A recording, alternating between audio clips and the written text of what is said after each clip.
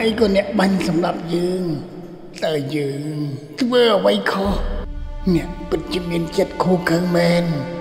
ហ៊ានលើកដៃសម្រាប់សត្វមានជីវិត ដែលមានកូនចៅត្រូវចិញ្ចឹមបើអ្នកសម្រាប់យើងបែបនេះតើកូនចៅរបស់យើងត្រូវរស់យ៉ាងណា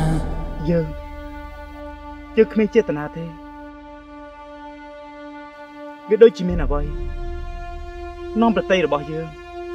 ឲ្យចង់បានអ្នកមកតតប្រសាឲ្យយើងសុំទោសផងអហោសកម្មឲ្យយើងផងយើងមិនទទួលទេ យើងសូមដាក់បណ្ដាសាឲ្យអ្នកជួបតែការព្រាត់ប្រាសរស់រងទុក្ខវេទនាគ្មានថ្ងៃស្រាក់ស្រាន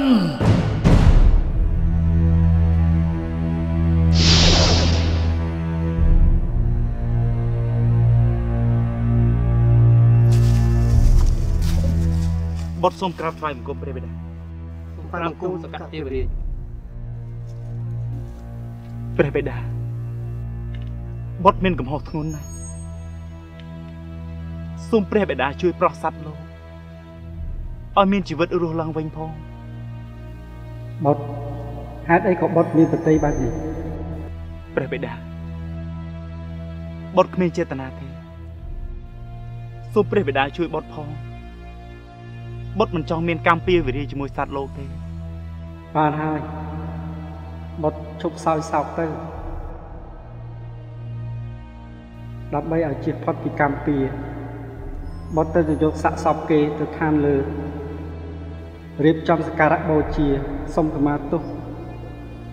ឲ្យគេឲ្យបានត្រឹមត្រូវផងណាបុតអរគុណព្រះបិតាទេវសេនាទាំងអស់ គណៈបានស្អីសេះឆាប់យកសាក់សពសត្វប្រយោគភៈនេះទៅឋានរបស់យើងទៅទទួលព្រះរាជាក្រាបទូល